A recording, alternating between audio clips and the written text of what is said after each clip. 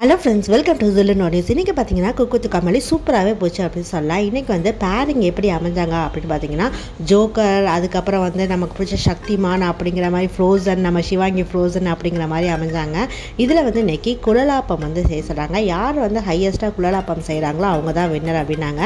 இன்றைக்கி நம்ம சிவாங்கி வந்து யாருக்கு பேர்னா அம்முக்கு பேராக இருந்தாங்க மணிமேகலை வந்து முத்துக்குமார் சாருக்கு பேராக இருந்தாங்க அதே மாதிரி வந்து விந்துலேக்காவுக்கு வந்து நம்ம குருஷி பேராக இருந்தாங்க வேறு லெவலில் இருந்து இன்றைக்கி ஃபன்னு பயங்கரமாக இருந்துச்சு. இதில் ஃபஸ்ட்டு டாஸ்கில் வந்து வின் பண்ணது அப்படின்னு பார்த்தீங்கன்னா மூணு பேர் வின் பண்ணாங்க. சு விந்துலேக்கா அதுக்கப்புறம் வந்து நம்ம தக்ஷன். மூணு பேருக்கு வந்து ஸ்ட்ராபெரி வந்து போட்டி நடந்துச்சு. எப்படின்னா வந்து அவங்க கோமாலிஸ் வந்து குக்குக்கு வந்து ஸ்ட்ராபெரி ஊட்டி விடணும் இதில் பார்த்தீங்கன்னா ஹையஸ்ட்டாக வந்து வேறு லெவலில் வந்து சாப்பிட்டது அப்படின்னு பார்த்தீங்கன்னா நம்ம கிரேஸ் சாப்பிட்டாங்க.